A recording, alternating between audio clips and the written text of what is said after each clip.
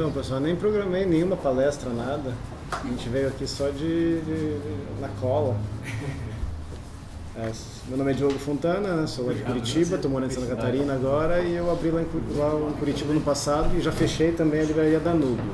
Ela fechou a loja física porque eu me mudei para Santa Catarina por uma questão pessoal. Não porque a livraria estivesse dando errado, pelo contrário. O Luiz estava frequentando lá, sabia que estava indo bem. A ideia da livraria era fazer um, um... Em Curitiba teve uma experiência do Instituto Olavo de Carvalho, que deu errado. E eu lembro que o professor Olavo, na época, no seminário de filosofia, falou que um dos problemas do Instituto era que ele era institucionalizado. O Instituto era um instituto. Então eu pensei, vou fazer um negócio que seja absolutamente informal, um cafezinho com livraria. Sendo um café, chega quem quer, a hora que quer, faz o que quer, vai quando quer, e não tem nenhum tipo de hierarquia, obrigação, é um espaço realmente de encontro entre amigos e foram formadas várias conexões, eh, várias amizades e o negócio prosperou de uma forma até que me surpreendeu mesmo. Eu não- imaginei que pudesse dar certo do jeito que deu. Eh, desses encontros eu conheci o Luiz. O Luiz trabalha na esquina de onde era a livraria, né? É, e a gente acabou se conhecendo e era uma experiência muito engraçada. O Christian de, de Rosa conheceu ali a livraria, é, o Rodrigo Gurgel também, o professor já esteve lá. É, a disposição dos livros lá, era, ela, é, para quem tivesse, quem tem olhar treinado, identificava na hora onde é que estava se metendo. Se pisava lá, via lá um livro do Eric Wegelin, via, via lá o mínimo que você precisa saber para não ser um idiota, via na vitrine os livros da Vida, os livros da Eclese. Então eu quero entrava ali, opa, tá. o que está acontecendo? Que livraria é essa? E o Luiz foi um desses caras que teve essa experiência, né? E era engraçado, inclusive, ver a timidez das pessoas de olhar e tal, olhava para um lado, olhava para o outro, perguntava para mim que estava no caixa. Você é o Olavo? eu sim, daí a pessoa parecia que se aliviava, agora posso falar à vontade. A terapia. É, e daí acabou virando realmente uma terapia. Os sábados, é, todo sábado movimentava lá e era um lugar que as pessoas realmente saíram, saíam do isolamento. Um lugar que as pessoas realmente podiam, o pessoal sufocado em faculdade, em não sei o quê, e chegava lá e realmente tinha um, um- um espaço para conversar. E acabou, é, acabaram surgindo várias iniciativas, várias coisas surgiram lá. É, a Rádio Vox, quando estava começando, quem conhece o Christian aqui é um dos idealizadores e, e condutores lá da rádio, junto com o Edson Camargo, com o Alex Pereira. A, Rádio Vox, é, em- quando era um embrião ainda, foi uma conversa lá em Curitiba, quando, com a palestra do Paulo Martins, né? O Christian foi lá para Curitiba, o, o, o Alex também, uma palestra que o Paulo Martins deu, eles se encontraram e lá nasceu, chegaram com a ideia da Rádio Vox, lá saiu o tratamento de choque, que daí eu já apresentei o Paulo, ah, não, faz faz um programinha aí então, a gente precisa de um nome, daí o Paulo falou, ah, a gente precisa dar um tratamento de choque na galera, já tá aí o nome. E surgiu o programa Tratamento de Choque da Rádio Vox, é, e eu fui chamando o pessoal para justamente movimentar a cena lá, então, o Rodrigo já foi duas vezes, o Bruno Garchagni foi uma vez, o Flávio Morgenstern foi uma vez, é, é, chamando o pessoal das outras, das outras cidades para. Alexandre Soares Silva também. O Alexandre Soares Silva foi, foi muito bacana, lançou o Alma da Festa dele, o romance ano passado. Só que eh, eu tive que mudar para Santa Catarina, então eu fechei a loja física. Eu vou abrir a loja virtual um dia, tenho pressa também, inclusive estou tudo encaixotado.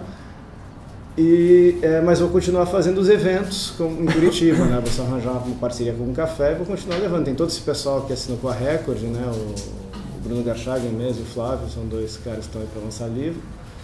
Eu vou fazer os eventos em Curitiba e quem sabe aqui em Porto Alegre a gente encaixa, né? O Renan e o Thomas já vi que se, se piscaram ali. De repente a gente encaixa para trazer esses caras para cá também. Ir para Porto Alegre, de repente, fazer os eventos, fazer mais ou menos a mesma coisa. Além da, da ideia da livraria, que até para mim, estava falando com o Luiz hoje na música, foi até um alívio fechar a loja física, eu não aguentava mais abrir e fechar a lojinha. Né? Fazer caixa não é. Não sou comerciante, estava comerciante é, por circunstância, não é essa a minha vocação, eu acho que a missão foi cumprida. Mas dentro da livraria surgiu a ideia da editora, que era uma ideia que eu tinha também no dia de São Nunca, guardada na cabeça, mas acabou calhando de que o Luiz lá com apareceu lá os com os originais. originais impressos. e eu com tremenda má vontade falei, ah, vou ler, vou ler. Assim. E um dia realmente não tinha nada pra fazer na livraria, à tarde, assim, um cliente, ah, então vou dar uma olhada que esse maluco trouxe aí pra mim. E achei bom. Eu pensei, ah não, agora vou olhar com outros olhos aquele cara. Tinha pé e cabeça. É, né? tinha pé e cabeça. Não, isso aqui, isso aqui é bacana. Aí surgiu a ideia. Aí veio um, um acho que foi em 2000, 2013 mesmo, um, um autor lá de, de, de, de Curitiba, é, lançado por uma grande editora, é, publicou um romance, a, a, distribuidora me mandou esse, esse romance, que é um romance dentro dessas características que o professor Rodrigo já estava falando, de primeira pessoa, niilismo, experimentalismo na forma, e é um autor que é muito insensado é, nesses meios culturais aí atuais. Eu dei uma olhada naquele romance, uma folhadinha e falei, ah não, se esse cara estão jogando confete, o Luiz é muito melhor. Mas muito melhor mesmo. Então não vou. Eu achava que precisava ter um pouco mais de paciência, vamos desenvolver, deixar, deixar mais para alguns daqui a alguns anos. Eu mudei de ideia e falei, não, vamos começar a fazer literatura agora.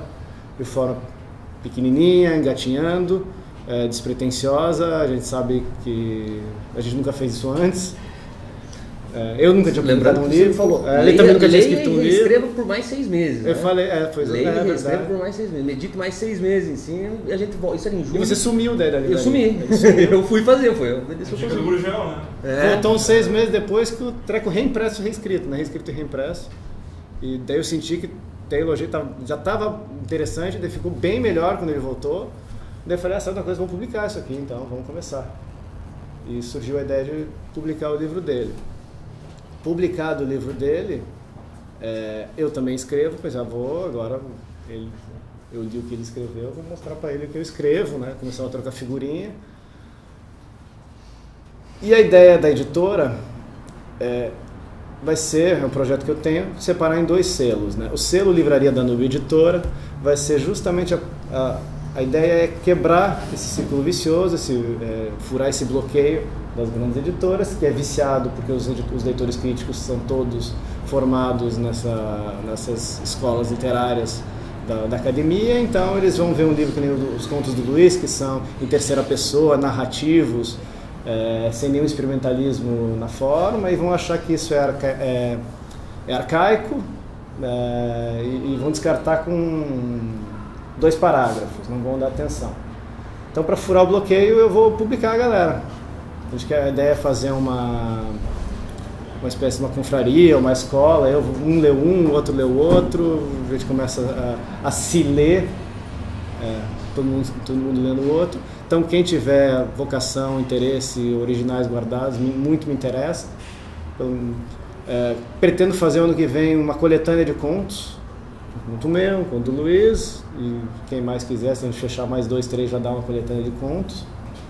É, então as portas estão abertas para quem quer escrever literatura. Não só literatura, como outros gêneros. O, o segundo livro que eu vou lançar é do professor Tiago Amorim, lá de Curitiba, também, não sei se você já conhece. O Francisco Forcim vai ser o terceiro autor que eu vou lançar, também lá de Curitiba. O Fábio Lins, também lá de Curitiba, tem é da, da Igreja Ortodoxa, da, sabe, fala muito sobre cultura grega. Vou publicar um livro dele, está fazendo uma pesquisa, publicar o meu livro também o João Paulo Borghignoni, é, que tem a, o programa sobre psicologia em busca de sentido lá na Rádio Vox, ele é psicólogo de formação e atua clinicamente, tem o programa de rádio de divulgação de, do Victor Frank, o Srond e outros autores. Até acabei de combinar com ele, a gente vai tentar formatar de alguma forma para transformar em livro. O programa Tratamento de Choque, que eu fazia com o Paulo Martins e com o Frederico Juncker, é, vai ser transcrito e a gente vai dar um jeito aí de formar, fazer isso aí em livro, não sei quem vai assinar também. Provavelmente a gente vai entregar isso aí para o Paulo para entregar para alguma grande editora, para ter distribuição.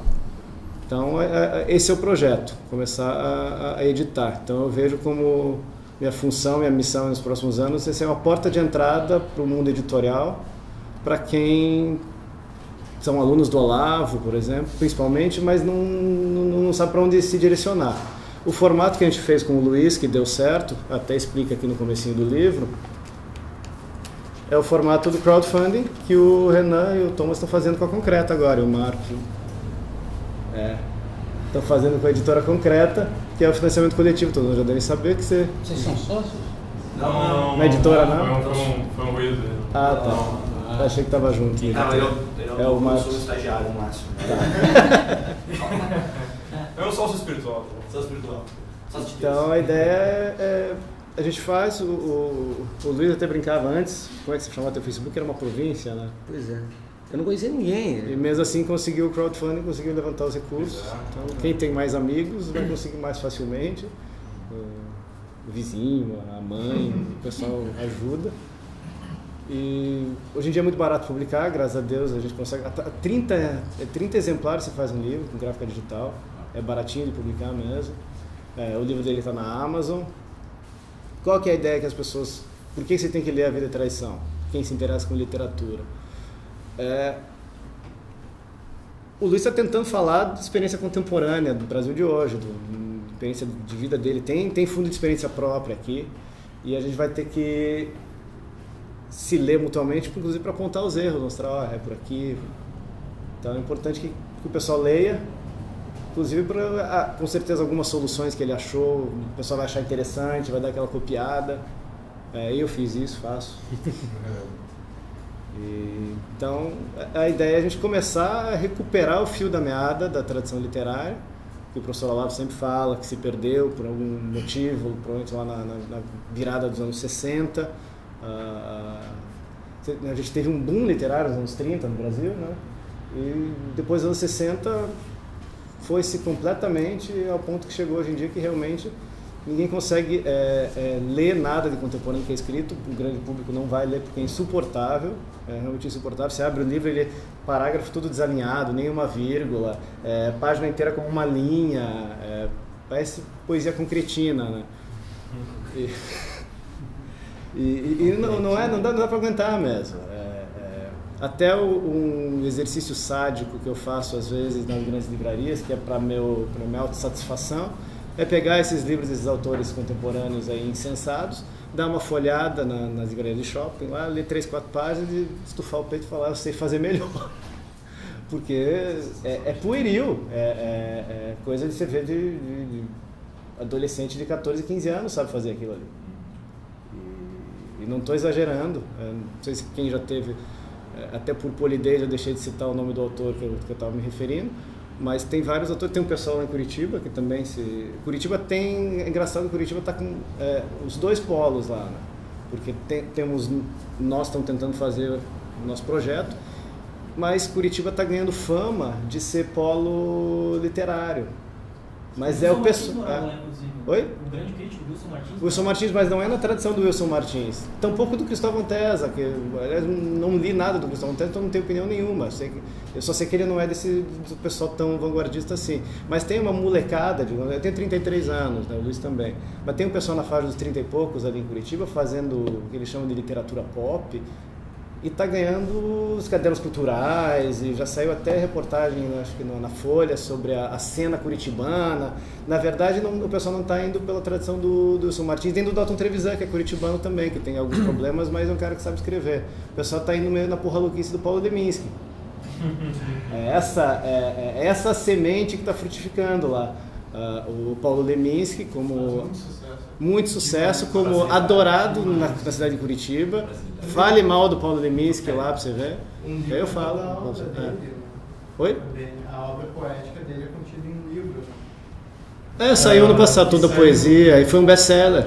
Pois é, ah. tá vendendo demais. Foi um best-seller. O pessoal uhum. gosta assim de pegar e tá.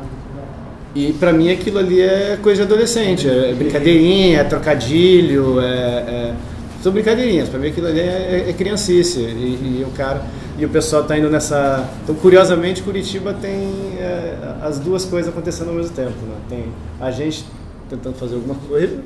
E uma tem, coisa séria. É, alguma né? coisa séria e tem o pessoal lá vivendo de editais e fazendo essas coisas aí. Até num ponto aí, eu cito esses autores experimentalistas Quem é de Curitiba vai até identificar as pessoas, é um pouco de a maldadezinha do autor, né? Monteiro Lobato que falava que um dos prazeres dele escrever contos era fazer as vingancinhas pessoais, né? É identificar aquele que, ah, tá, vou me vingar de fulano e fazia, só trocava o nome, né? Todo mundo que, que, que conhece, conhecia se identificava. Então é um dos prazeres, o, o Luiz fez isso. Né? Então, esse é o Luiz César de Araújo, esse aqui é o livro A Vida e Traição. E o Luiz, fale um pouquinho como é que você fez o livro. Né? Eu sou aluno do Olavo, leitor do Olavo há muitos anos, dois, muitos anos em termos. Né? E, do- dos muitos anos você chegou a ligar pro Olavo, conta essa história. Liguei, liguei pro Olavo. Do Quando o Olavo morava em Curitiba, eu fui no orelhão e liguei pra ele. Na hora que ele atendeu, eu não sabia o que falar. É, mas enfim, leio o Olavo há muitos anos. Sou aluno, aluno do COF, é, aluno do professor Gurgel. Eu me sinto até um pouco constrangido de estar na mesma mesa que o professor Gurgel. Que é isso? É, enfim, quis a providência que eu estivesse, estou aqui, né? É, e o livro eu comecei a escrever em 2012, no segundo semestre de 2012. né? alinhavei algumas histórias e resolvi me dedicar a isso como se a minha vida dependesse desse livro, né? como se de cada frase, palavra dependesse a vida ou morte. E, e trabalhei bastante, não, não foi fácil, não é realmente não é fácil. Tô, tô tentando fazer algo realmente é, sério, uma obra de arte, né, digamos, artística, literária. É, e tá aí, espero que gostem. Mas eu acho interessante você contar que você tomou uma decisão de vida de, de ser escritor, né? Teve um momento que você falou com a tua esposa, com a tua, com a tua mãe. Sim, sim. É, Explica um pouquinho. é, ali em 2012, eu já tinha passado um, um concurso público que me garantiu né, uma certa estabilidade. E, eu resolvi que não ia mais seguir estudando direito, porque Que havia pressão para ser juiz. A, ideia era né? que eu fosse juiz, que eu estudasse para magistratura, Ministério Público. Né? Eu falei, não, eu não quero ser rico, não, não é comigo essa praia. É, porque a gente vem adiando, né? Na, na época da faculdade tem, não, não, não dá para ler porque tem que estudar, né? Daí me, me formei, agora não dá para ler porque tem que estudar para o concurso. Né? E quando eu passei, eu falei, agora. E se chega. virasse juiz, não ia dar para ler porque tem que fazer os Não, tem que trabalhar. né? né? Então, é, agora eu falei, agora eu vou me, me dedicar ao que eu realmente sou vocacionado. E matriculei no COF, matriculei nos cursos do professor Gurgel. E, enfim, 2012 em diante eu, eu resolvi que eu deveria e que eu poderia fazer alguma coisa. E tá aí o fruto. Já escrevi quando era moleque, já, fazia Já, em 2002 eu escrevi 10 poemas. É, eu falei, vou, eu vou escrever poema para ver como é que é esse negócio. E Com métrica, com rima. Sim. Né? Tá lá guardado, nunca mostrei para ninguém. Eu tenho, é, e só em 2012 é que eu voltei a, a escrever alguma coisa de minha própria criação. Que foram essas histórias que estão aí. Tu absorveu algo já do que tu estava vendo no co Quer dizer, não sei, né, postura. Eu me matriculei no COF um pouco depois que eu terminei o livro.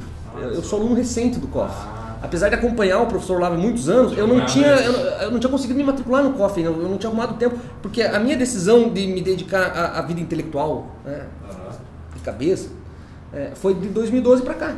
É, até antes de 2012 eu estava assentando na vida, né? Estudando para concurso, tendo filho, eu casei e comecei a ter filho um atrás do outro. seguindo o professor Olavo? Sim. E, e quando eu conheci o Diogo, o Diogo falava, matricula no cofre, matricula no cofre. E, então, sou aluno recentemente. Também fica desvirtuando as pessoas, hein? Pois é. E o, e o, curso do Uma influência. também. Também, também agora, também Então agora. vai ser um livro ainda melhor. Pois é. Ah, não, agora eu vou fazer propaganda. Cadê tua mão? comprometa. Cadê tua mochila? Cadê a mochila do Luiz? Deixa eu Isso aqui eu tenho que mostrar. E como é que é essa Ah. autocrítica, assim? Porque certamente tu, a gente faz, é, escreve, escreveu e disse assim, não, mas É terrível, é terrível, é, É. terrível, é terrível. Você oscila entre achar genial e achar exato. medíocre. tem um monte de gente naquele, alguma coisa Isso. gênero. Não, é, o próprio Montaigne, nos ensaios, ele fala que quando está escrevendo, ele não lê, procura não ler nada porque ele passa vergonha. Ele lê os, os grandes escritores e fica envergonhado do que ele escreve. É, é isso, você pega um Flaubert, você lê aquilo lá e você pensa, não, não consigo escrever. E se eu olho o livro hoje, eu não sei como é que foi que eu consegui escrever, onde que eu tirei tempo para escrever, é, mas o fato é que está aí. É, é um milagre, mas está aí. E, e é- essa autocrítica, é, o próprio Machado é, o mais severo juízo é, de si mesmo. E, e é isso, quem, quem leva a sério isso, quem não tá para brincadeira, sabe que o negócio não é fácil, não é, não é um caminho de flores. E o que nos dá esperança é a nossa juventude, né? Luiz tem 33 ainda, então a ideia era começar a engatinhar, sair com um livro mesmo e já para tem 50 anos de carreira pela frente aí, né? Controvérsias, né? Tem longevidade. É, a gente buscou se aproximar do Alexandre Soares Silva, que é uma referência, ele é uma geração um pouquinho mais velha que a, que a nossa, tenho 30, nós dois temos 33, o Alexandre que ele é de 68, tem, vai fazer 46, ou fez 46, né? Então ele é, tem um pouquinho mais de cancha que a gente, já tem obra publicada, então por isso que eu trouxe ele para a livraria, para conhecer pessoalmente, para fazer um contato de, de escritor para escritor e a gente começar a se aproximar. Quero trazer um pouco mais do Yuri Vieira, que também é um cara que escreve, é, também faz parte dessa, da, da, geração do, do, Alexandre. Até, se for possível, até vou falar com, com o Yuri Vieira, uma ideia que me, me, ocorreu agora, esse livro de contos aí, de repente eu peço um conto para ele, se ele tiver inédito ou autorização para usar alguma coisa que ele já publicou porque para a gente tirar o, o, isolamento, né? Tem um pouquinho, tem, sempre tem alguém tentando fazer literatura aqui, ali, lá, sem, sem nenhuma, sem nenhum diálogo, sem nenhuma conexão.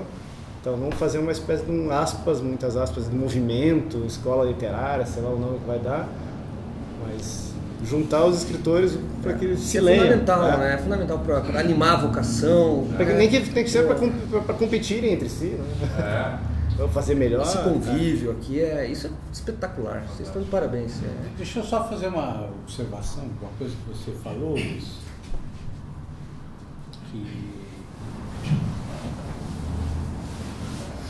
eu acho que é importante é, essa questão da sua opção profissional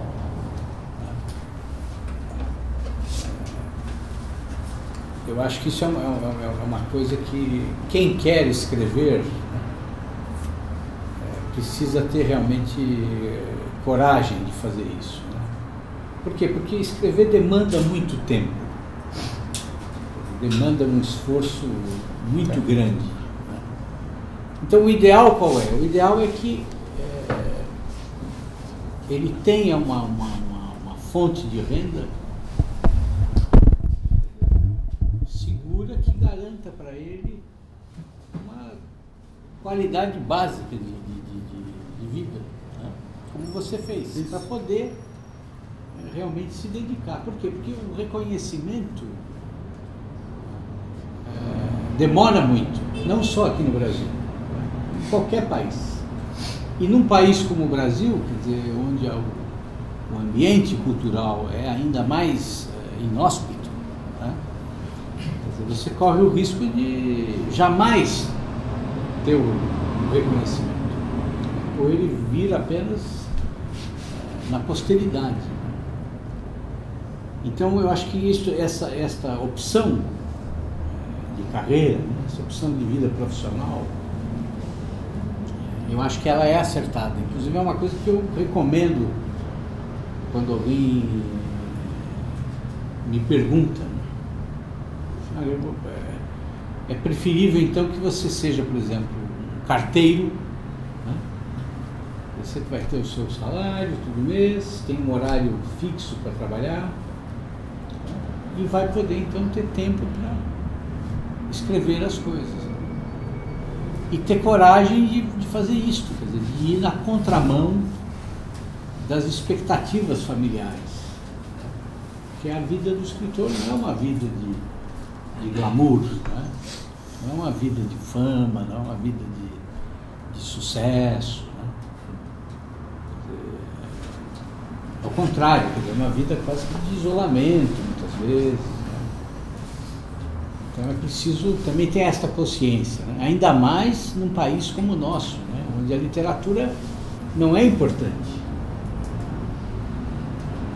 O Otto Maria Carpo conta que o José Lins Rego chegava na José Olímpio, às vezes sentava lá cinco minutos, começava a falar, ele estava desconectado, ia embora e ia, pro, ia escrever alguma coisa. Ah. Tava com o treco na cabeça, é, é vida completamente de isolamento. Né? Mas, é, mas é importante isso. Então, eu, eu não sei qual é o trabalho que eles têm, mas deve ter um horário fixo e depois desse horário ele pode, de fato, na medida, é claro, das das imposições familiares e tudo, né? Mas é, é, é preciso ter esta consciência, dizer, quem deseja escrever, quem deseja.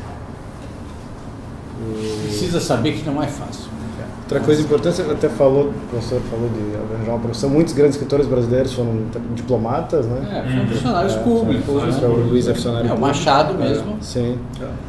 E o- Inclusive é uma inspiração, é uma das suas Sim. influências, né? Sim, sim. Dá pra notar no E o, você falou, acho que foi o Luiz Lavelli que fala, esse cara falou, você era chacreiro, né? Foi- Toma- Thomas Merton. Ah, Thomas Merton. Qual é a é frase? Enfim, é, o mundo contemporâneo, o mundo moderno, é, não é um mundo favorável à vida do espírito, né? Ele se, arruma um emprego de porteiro. Você vai ficar a madrugada Pô, inteira é. sozinho. Pô, os caras ficam escutando rádio AM, era melhor ficar assim lendo a madrugada inteira. né? É verdade, pô. Eu, quando, ali pelos 17, 18, né, estava decidindo o que fazer da vida tal, sempre gostei muito de ler, leitor onívoro, né, tudo. É, já li os clássicos desde muito novo, isso fez muita diferença. Poesia, muito, Tua mãe fazia muito. Minha mãe declamava, minha mãe meio maluca, declamava poesia para mim. Né, o Juca Pirama, o Navio Negreiro, ela declamava em voz alta e eu peguei, fui pegando. Isso, isso já me, me mostrou um vislumbre de que havia um mundo superior, sabe? É, esses poemas, a leitura, que existiam uma, uma alta cultura, sabe? Desde muito cedo eu já vislumbrei isso. E, e tomei gosto realmente pela literatura, desde muito cedo, li muito. E ali pelos 17, 18 eu estava em dúvida entre o que fazer. Eu falei, vou fazer jornalismo. É, quero ser jornalista, quero escrever. E minha mãe, santa mãezinha, falou, não, você não vai fazer jornalismo, você vai fazer direito. Para escrever bem, não precisa fazer faculdade de jornalismo, né? Hum. para escrever basta ter talento. Enfim, não, não existe faculdade para poeta, não existe faculdade para filósofo, né? É, não existe faculdade para formar bom jornalista, para quem escreva bem. Então, vai fazer direito, que é abre muito mais possibilidade. É, isso é uma imagem que ela falou muito cedo para mim. Se você quer ter uma vida tranquila, poder escrever o que você quiser, depois, mas primeiro garanta, né? O bife, né? garanta a mínima. Isso. é, e depois você vai escrever o que você quiser. E pô, eu passei pela faculdade de Direito sem dar muita bola porque falavam lá, sabe?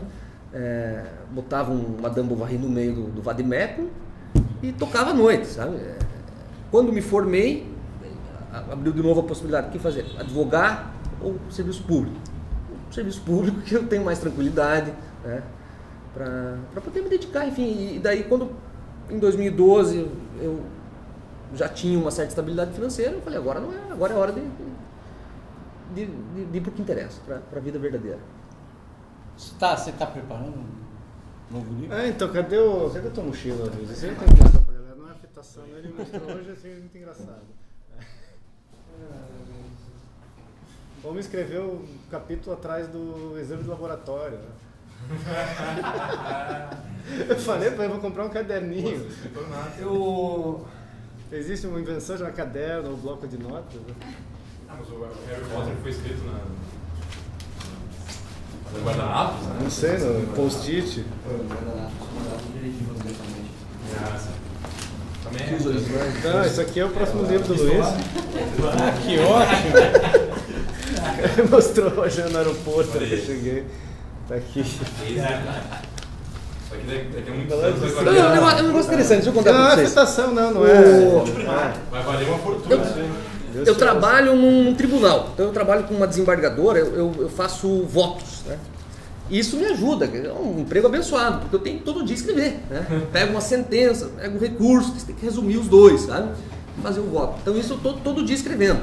É, por mais que seja um- uma outra né, área, mas ajuda. Mantém o hábito. Mantenho o hábito de escrever. Você não dá uma floreada às vezes? Não, Lembra É. daquele filme Finding Forrester? né? Aquele que é com o. Sean Connery.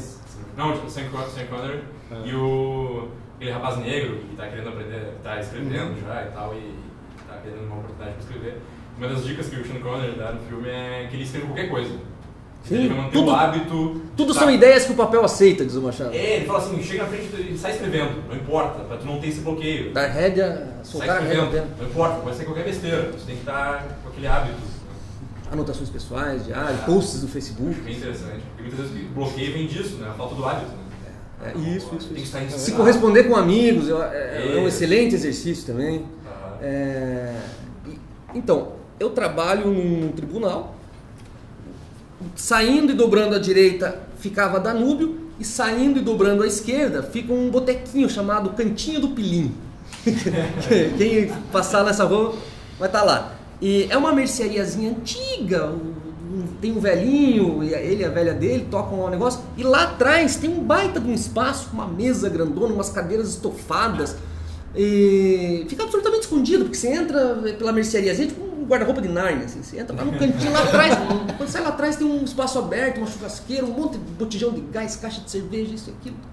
E uma mesa grande e umas cadeiras estofadas. Quando eu descobri esse lugar, eu falei, ah, é aqui mesmo que eu venho. Todo dia. Quando eu descobri a Danube, eu parei de frequentar o Pilinho. Porque todo dia eu saio na hora do almoço, pego minha mochila, sumo. Os meus colegas não têm nem a menor esperança de almoçar comigo, porque nunca.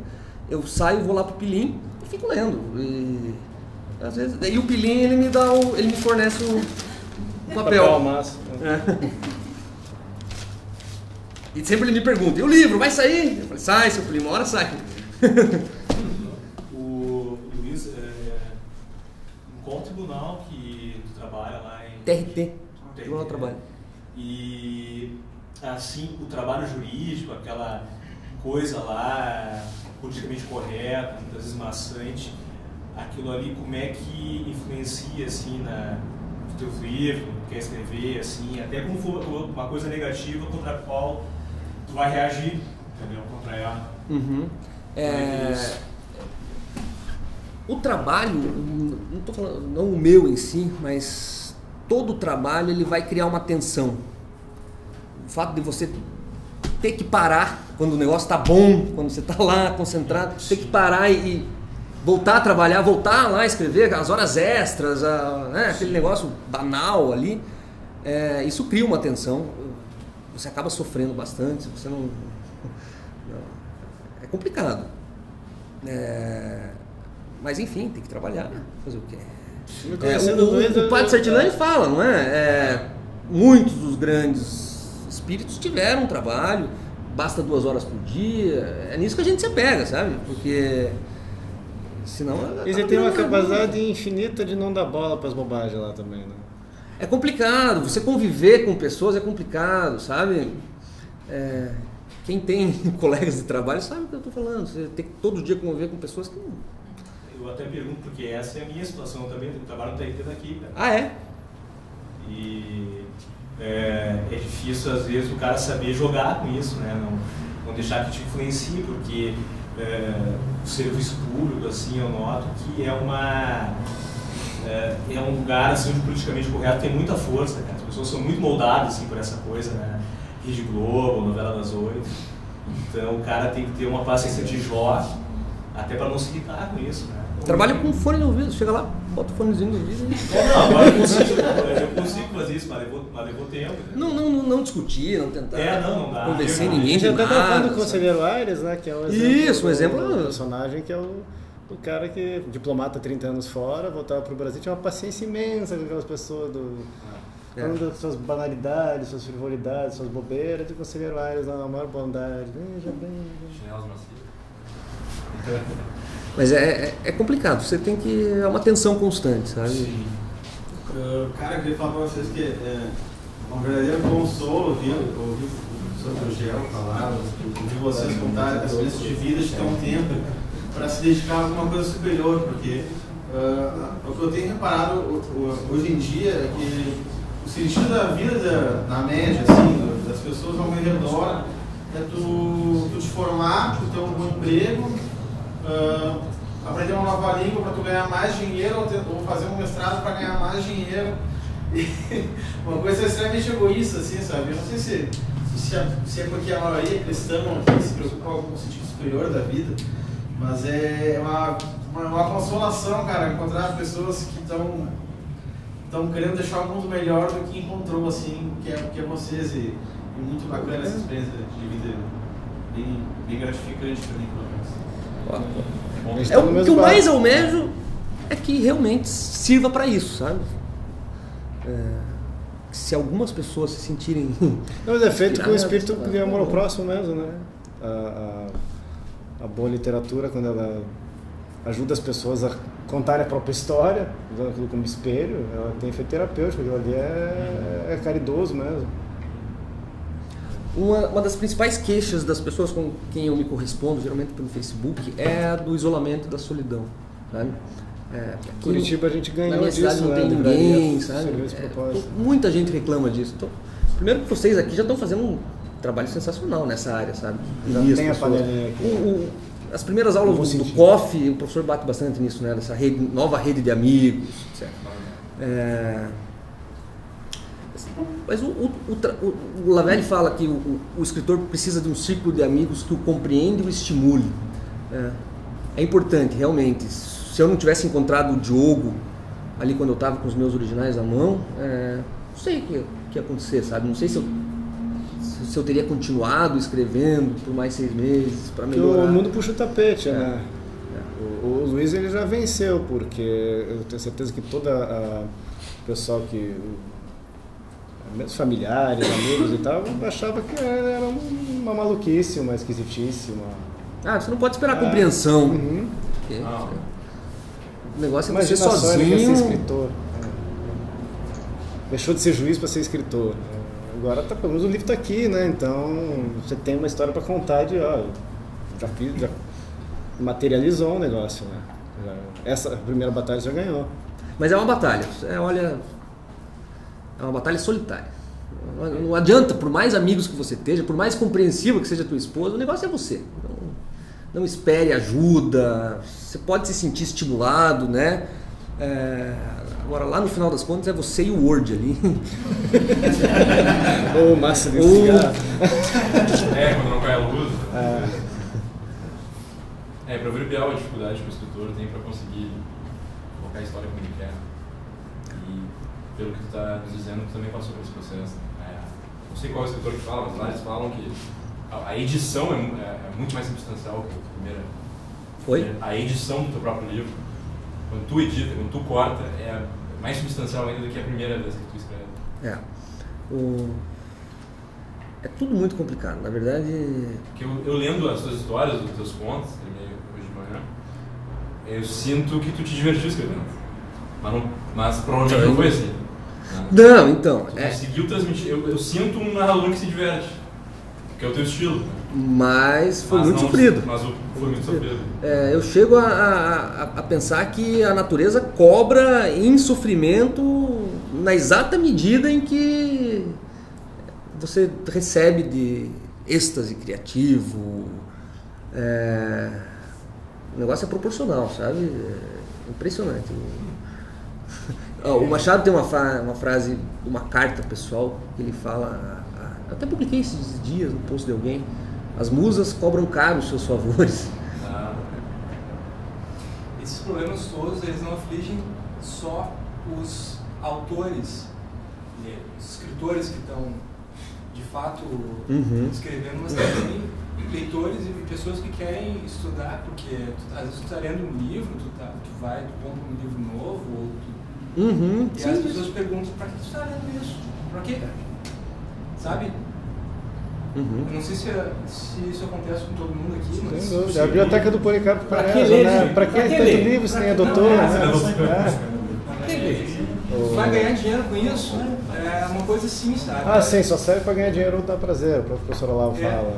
é. Só tem essas duas opções, não tem o sentido de obrigação, tem que fazer porque tem o que fazer. O professor Olavo tem um texto clássico sobre vocação. Estou no começo do mínimo até. É. As pessoas não entendem quando você faz algo que não te dá dinheiro, né, que só te dá dor de cabeça. Seria a última coisa que eu poderia fazer agora é escrever um livro. Tô com criança pequena em casa, não tenho tempo para nada, ainda vou me meter a escrever, então só vocação. Tomar cerveja na praia, né? E ver a novela das oito, é claro. É. O comendador. e dá o sentido do teu sofrimento também. né, É, acho que é até interessante falar, a gente estava falando hoje, na hora do- antes do almoço, sobre alguns problemas que tem o escritor, desafio da nossa geração para quem quer escrever. Né?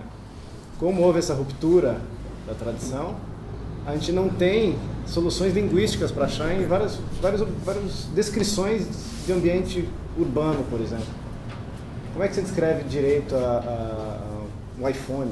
Como é que você descreve uma pessoa mexendo no computador? Como é que você descreve é, os aparatos tecnológicos, ou o visual, da, as roupas contemporâneas? Você fica lendo clássico da literatura do século XIX, até o até Tilbury, é luva branca, é, é fraque, é casaca. A gente não tem nem de onde chupar, de onde buscar é, as coisas que existem no mundo material e no fisicamente nos últimos 50 anos, porque os caras só estão narrando o próprio umbigo. Não existe mundo, a cidade é a cidade X, ou a cidade com C maiúsculo. O protagonista é o W, é o X, é o Y, não tem nem nome. É, Perdeu a concretude, né? é, não tem, não tem, não tem mundo. É uma- é um- são, são narrativas sem mundo. Narrativas- O professor, o é, professor Gurgel chama de narratofobia, né, professor? Nem narrativa é, É. né? Me refiro ao medo de narrar, né? Uhum. o medo de contar as histórias. Narratofobia. Então a primeira coisa que a gente está tentando aprender a fazer é, é se a gente conseguir fazer livros aí, alguma coisa que já pelo menos já o o leitor se, se identifique e veja. Ué, Esse mundo do livro é parecido com o mundo que eu, que eu vivo, a gente já vai estar pelo menos dando instrumentos linguísticos para que outras pessoas aproveitem isso aí também. Já, já é um primeiro passo, porque é, em certos aspectos é reinventar a roda. Fora toda todo o papel cultural que vocês têm, né? Sim. que uma editora tem, né? em termos de, de- de- de presença na vida, na inteligência. Ah, isso é até interessante. Para quem foi escrito esse livro, né? O editor tem Os alunos do Olavo. Então, a ah, distribuição. Então, a distribuição não. Essa distribuição é chegando, o pessoal do coffee lê o livro. Empírico, né, É. O leitor. Ele não tem interesse em colocar isso aqui lá na livraria do shopping. Não, não é isso. O, o leitor não vai nem entender do que a gente está falando, do que o Luiz está falando. né? Até vai história, mas não vai. O, o- quem é leitor, aluno do, do professor Olavo, vai, vai, é, é, vai ter mais identificação com, a- com o que o Luiz produziu do que o leitor comum. Apesar de que a narrativa dele, como é terceira pessoa, tem história do começo, meio e fim. É um bom contador de história. é excelente contador de história, o Luiz é um contador de história. É, o grande público se diverte também, né? As pessoas leigas, digamos assim, é, se Fiquei feliz, meu também. sogro gostou, É. sabe? Alguns parentes gostaram, então, Olha aí. gente normal, sabe? Bem normal, é. é. O pessoal das academias com certeza vai- torceria o nariz, mas da primeira página, na primeira página, Sim, sim. por causa dessas características. Olha só, ele está contando uma história, vê se pode. Olha, Está narrando coisa mais arcaica. Isso é uma linguagem ultrapassada, não corresponde ao. Ele não está ajudando na luta pela revolução. Também não está é, não tá ajudando a luta. Pelo, pelo, pelo contrário, a primeira novela, É, é, ia dizer, Discórdia, primeira ele debocha do movimento revolucionário do começo ao fim, né? Cara, é genial. É um- É um deboche. O palhaço gaetano. É, que tem sátira explícita né, do Caetano Veloso, no caso. Ah, esse, trecho vamos ler aqui, vou achar isso aqui. Lê a fala do palhaço gaetano. A fala, a fala dele quando. Qual página que é mais ou menos? Vai dar spoiler. Acho. Não, é um trechinho, no cada parágrafo no meio do conto. É muito bom. Não vai dar spoiler, não. E adorou.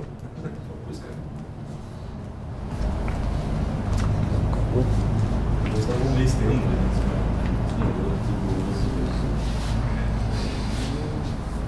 É no Discord. Câmara dos Vereadores, um pouco antes. Aí. Então, Só para contextualizar um pouco, tá tendo manifestação e tal, tudo ao É uma cidadezinha do interior do Paraná, fictícia, chamada Discord. que é, é, tá tendo lá as manifestações por causa de um problema com... A origem do nome É. está explicado no começo. Né? E tem uma cidade no interior de Santa Catarina chamada Concórdia, então por que não pode ter Discord? Tem contenda? Tem... Você vai chamar contenda? Aí tem uma figura é, é, que o, começa a manifestação, daí o, o, o pessoal do circo adere, né? Tem lá o palhaço Gaetano, e como é que é o nome do outro? Gil. Palhaço Gil, palhaço Gaetano, eles aderem à manifestação, assim, ficam maravilhados com aquilo, né? Aí o palhaço Gaetano vai dar uma entrevista, né? Para conceder sua entrevista, palhaço Gaetano tirou a máscara preta, mas não o nariz. De tanto uso já estava pegado a cara do palhaço. Aí aqui travessão. né? Sou apenas um, um velho palhaço, porém não pude deixar de aderir. Não deu tempo de refletir. Primeiro aderi, depois vou refletir. É uma coisa linda, sabe? Novas formas de ser, de não ser e de saber. Os manos mascarados, esses meninos lindos fazem parte. Capilé faz parte. Cada um sabe a dor e a delícia de ser o que é, de ser capilé. Toda maneira de protestar vale a pena, querida. Meu coração não se cansa de ter esperança de um dia ser tudo o que quer. Meu zen, meu bem, meu mal. De perto ninguém é normal. Não sou branco nem sou homem. Meu pai era mulato e minhas avós não casaram. De diversas harmonias bonitas possíveis sem juízo final. Discórdia é minha mátria e o que eu quero é frátria. Quando a, gente, quando a gente gosta, é claro que a gente cuida. Da próxima vez, como forma de protesto, além da máscara, do nariz e da perna de pau, virei com uma sunga de jersey azul rei, da marca Blue Man, com etiqueta na parte interna e um bordado da marca no lado esquerdo do peito. Osama Bin Laden era um homem muito bonito. Ah, bruta flor do querer, ah, bruta flor, bruta flor, drão, drão, odara ou não. Ou não.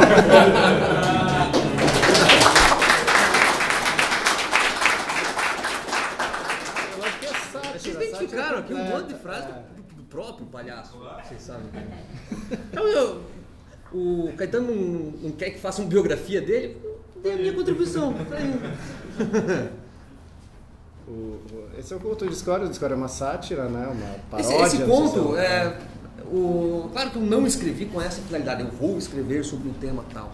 É, agora, um dos méritos que ele tem é escrever sobre, sobre isso, que, que é essa tragédia, que as cidades que são esvaziadas para. Eu, depois que o conto estava escrito, eu lembrei que o professor Olavo, não foi o professor Olavo, foi, foi- acho que foi o Gurgel, não lembro. Um deles falou, meu Deus, quando é que vamos escrever sobre isso? Isso é uma tragédia, né? As, as cidades que se esvaziam para dar para os índios. Ah, sim, Hã? sim, sim. Olha o spoiler aí, ó. E, é, Essa parte aqui acho que é bacana que o pessoal. manifestações. É, a manifestação, a ideia era justamente do Discord era dar vida e voz à, à- à manifestação. É um retrato, É, um retratar do Brasil, a né, coisa como ela acontece de fato e não como o pessoal, esses clichêsões que os jornalistas ficavam repetindo o tempo inteiro, né? Então ele tenta narrar o jeito, do jeito da coisa do jeito que foi, né? Então tá aqui começando a manifestação, essa parte. Em menos de meia hora apontavam na rua do Divino duas combis brancas do partido, em cujas portas lia-se em vermelho o slogan Leitão Silva, o amigo do povo. Dos carros desceram militantes paramentados com bonés, bandeiras, megafone, cartazes, apitos. O assessor do vereador conversou rapidamente com alguns, mandou chamar os que estavam no bar e burocraticamente fez correr uma lista de presença pedindo para Dona Cleia anunciar o início de uma Assembleia Popular que seria realizada ali mesmo naquela hora. Aquele nosso amigo da cusparada de esguicho assinou a lista, voltou para baixo do todo e sentou sobre os calcanhares. Panfletos com explicação da pauta eram distribuídos, junto com um vale que seria trocado ao fim do dia por dinheiro. O médico do posto de saúde, o Dr. Jorge Yeresuelo de la Caridad Urquiola, num portunhol agradável, carinhoso, íntimo como bom médico da família, secretariava os trabalhos e conduzia os debates. A tarde seria de acaloradas e unânimes discussões, desde o preço da tarifa do ônibus até o lucro dos bancos e a precariedade do sistema de saúde de discórdia, etc. Muito haveria de ser debatido naquele dia. Houve moções, houve declarações de repúdio e de apoio, houve apresentação de teses e antíteses, deliberações e votações. O povo, o povo estava no bar tomando cachaça, estava sob o todo sentado nos calcanhares ou no meio-fio tapando o sol com o boné.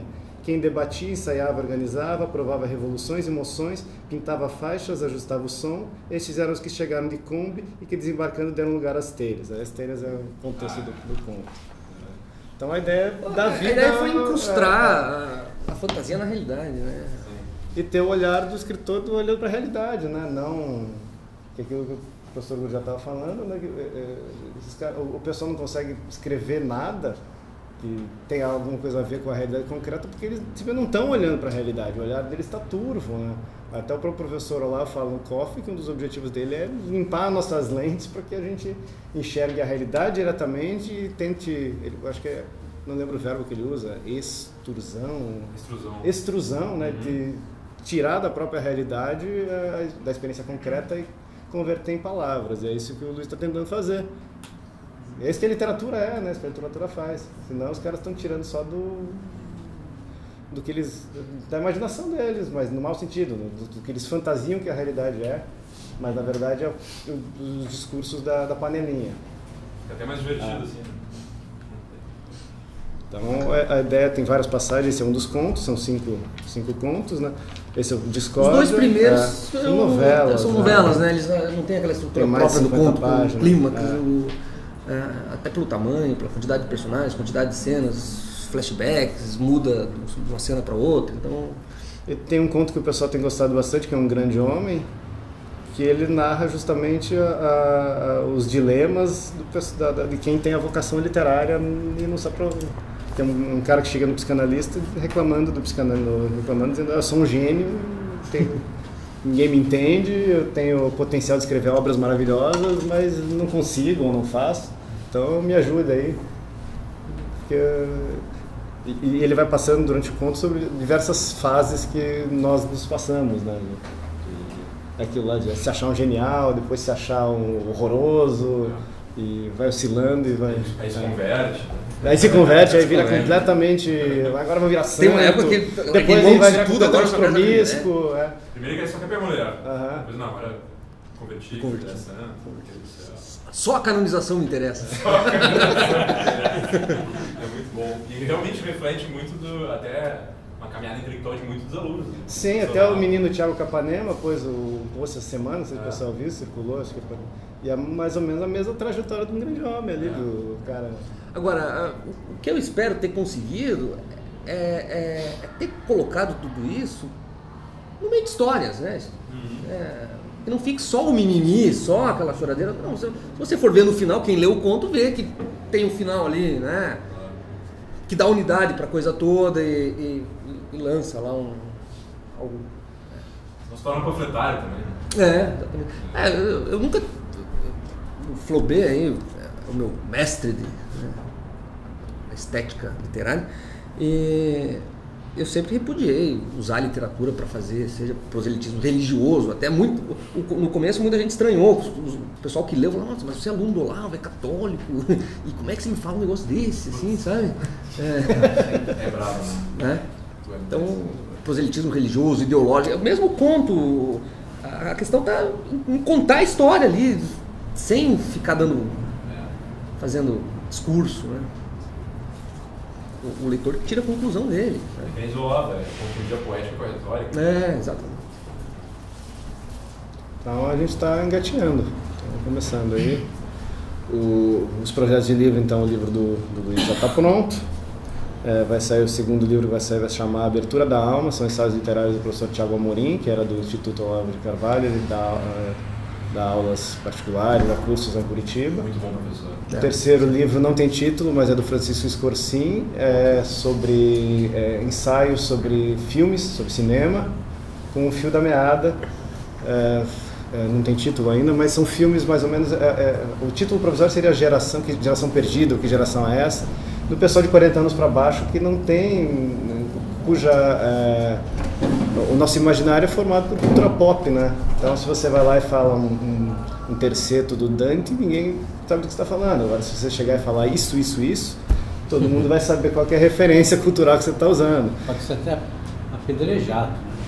É, ninguém vai saber o que você está falando. tá Agora, se você chegar lá e falar uma frase do Star Wars, todo É. mundo sabe, sabe o que está pisando, sabe, entende. E ele, com os atendimentos individuais que ele faz da, da, da bioiatria, né? É, ele percebeu que ah, não adiantava ele, às vezes chegava um menino de 17, 18 anos, 19 anos completamente desorientado, não adiantava ele chegar e mandar ler um romance e tal, que ia atrasar a vida do menino, não ia conseguir resolver o problema. Então ele começava a usar referências pop mesmo, ah, sabe o filme X, o filme então, hollywoodianas mesmo.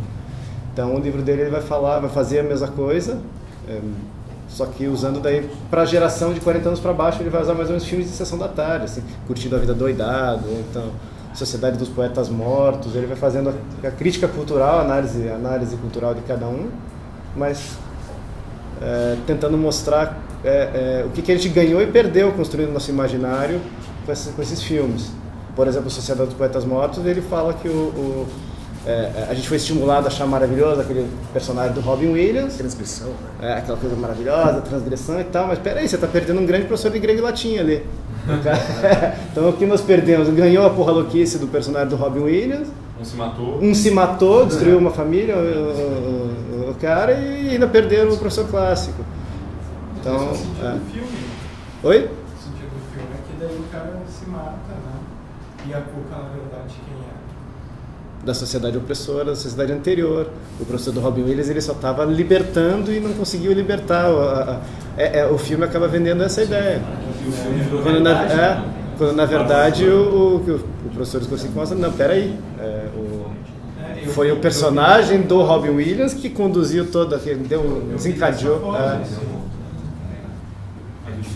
Real, né? Ator- Ah, é, o Robin Williams se matou, é verdade. É. É, tá- É verdade. Uma coisa que eu reparei também, Aí ele o falou quarto em li- alusão- é. ele falou em alusão, né?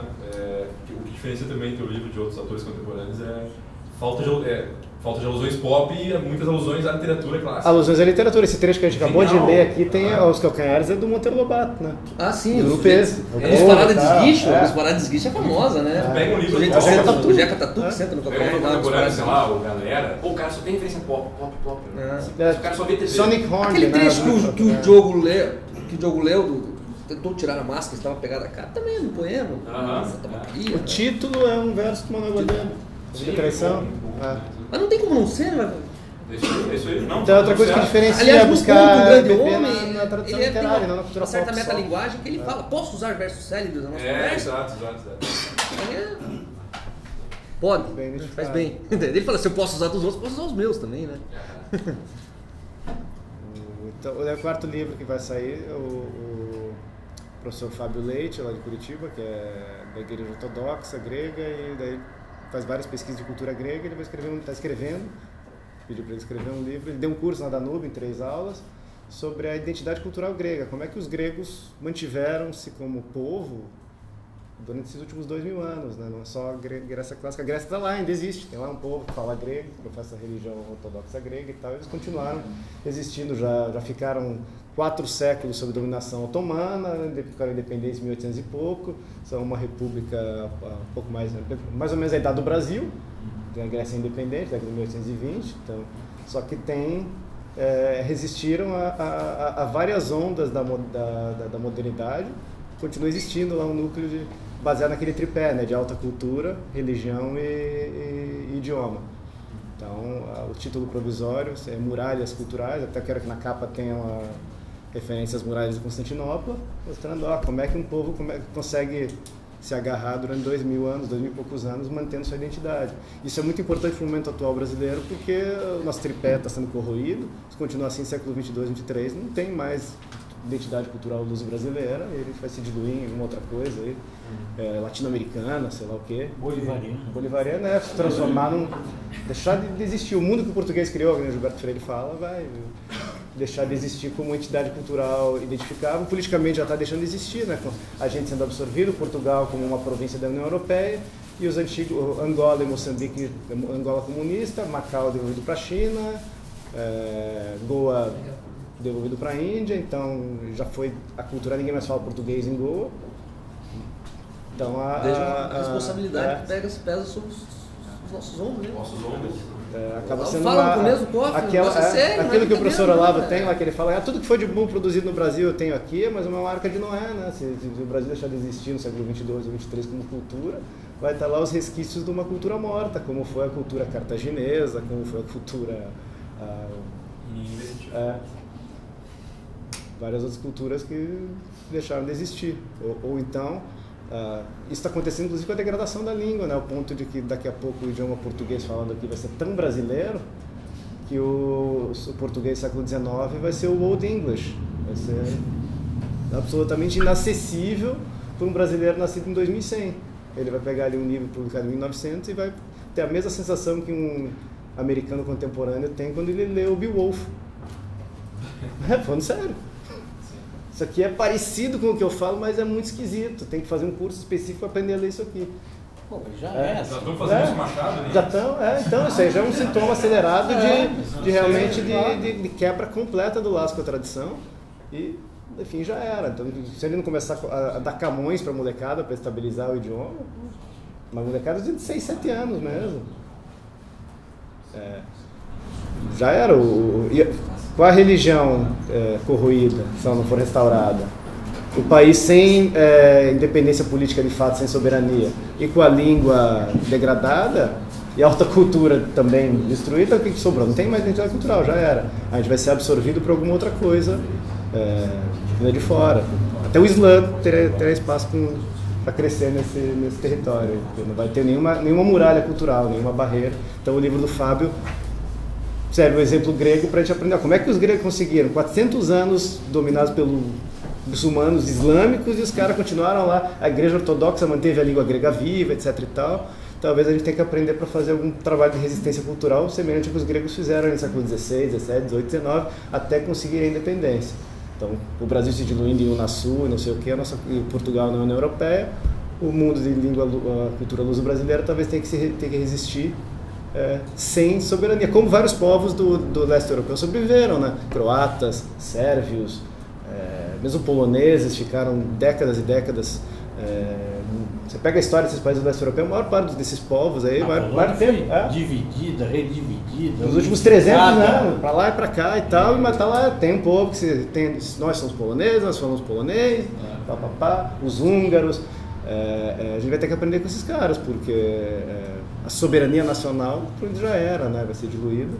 Então a gente vai ter que saber. Até o rapaz que foi embora falou que não tem identidade. Eu acho um erro gente falar que o Brasil não tem identidade. Nós temos uma amnésia coletiva.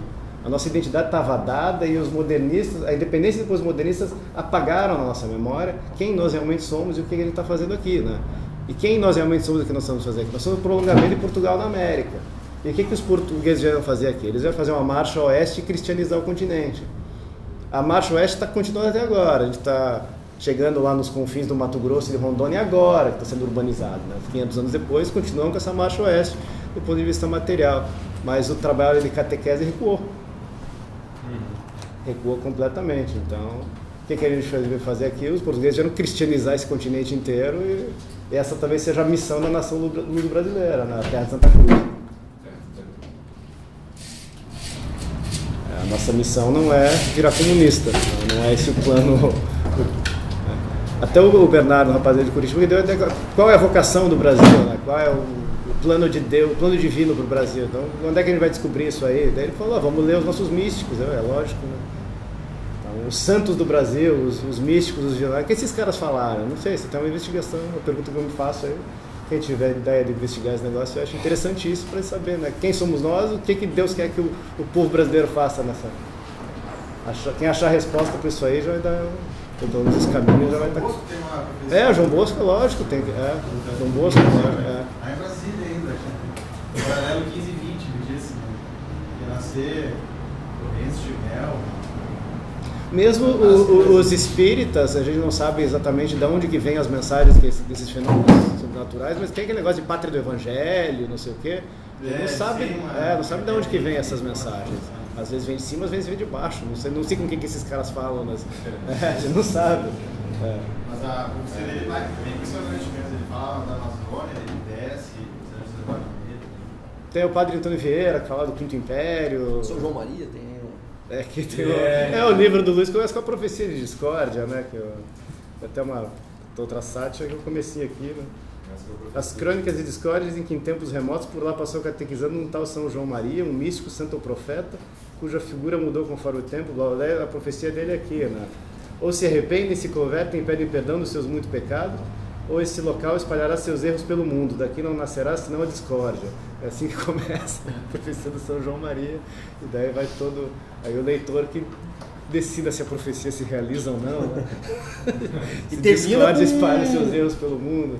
Termina é. com uma, pro... uma promessa messiânica, né? Indígena, messiânica. Escatológica, é, de um outro Nosso indigenismo nunca mais vai ser o mesmo, né? Depois assim. Então acho que é isso, galera. Alguém tem alguma pergunta? Ah tá, falei o livro do Luiz e o quinto livro que eu estou publicando é o meu. Eu vou autopublicar, vai ser um romance. O título definitivo provisório é, é Os Deuses do Mundo. É um romance, não é conto? É um romance, é um romance, mas vai ser um romance curtinho, no máximo 120 páginas, porque eu sei que ninguém vai aguentar ler um desconhecido, um autor estreante, vai aparecer com 500 páginas, tudo, por mais amigo que seja, é sacanagem. uma, uma novelinha, um romanzinho pequeno, para para ver se o pessoal me lê e daí a gente começa a fazer essa.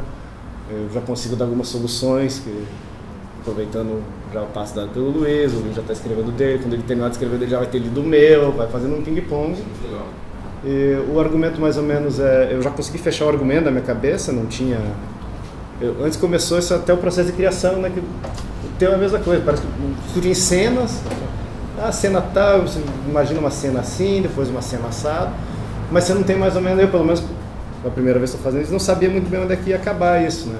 Agora eu já consegui formatar na minha cabeça um argumento, começo, meio e fim, por isso que já surgiu um título, né? Os deuses do mundo é Mamon, deus do dinheiro, é Dionísio, o deus da festa, e um outro que não é um deus, mas é deste mundo, que é Lúcifer, o espírito da revolta, né? E o personagem que é o protagonista, ele vai vai cruzar com essas três ofertas do mundo, digamos assim. O, o apego ao, ao, dinheiro como destino, como caminho, ganhar dinheiro, ganhar dinheiro, ganhar dinheiro, ou então a, a porra louquice, ou então o espírito de revolta, o movimento revolucionário. Nossa geração, ele tem ofertado, o que a gente tem ofertado para nós é isso aí como caminho de vida. Né? As nossas três tentações. Ah. Você lembra muito aquela aula do John Bunyan, do Pilgrim's Progress? Não conheço. Não conheço. Eu estou em século XVII assim, um peregrino que caminha por vários lugares lá ele encontra uh, um personagem que representa uh, o dinheiro, a missão. Essas três tentações elas vão estar presentes na trama. E o meu personagem é um peregrino porque ele é um argentino. A trama assim, se passa em Balneário Camboriú. É, o rapaz ele nasceu no Brasil, pais se separaram, foi morar com o pai argentino porque a mãe era porra louca, traiu o pai dele com o Beto Carreiro.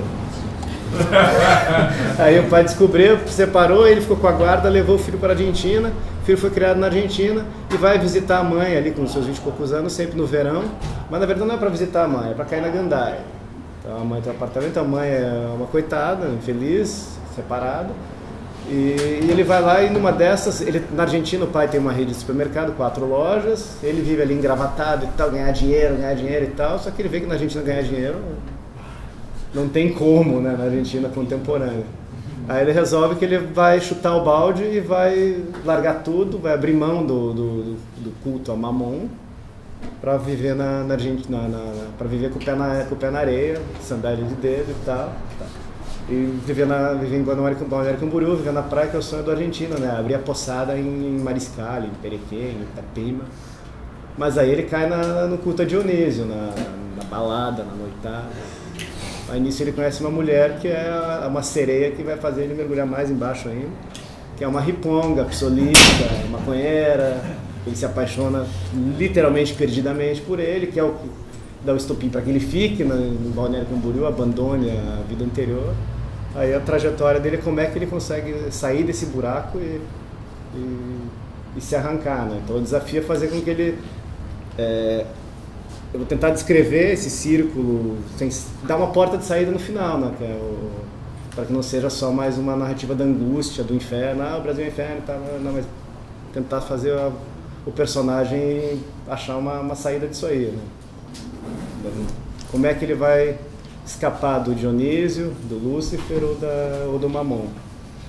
Esse fechamento está tentando achar. Então, é isso. Obrigado.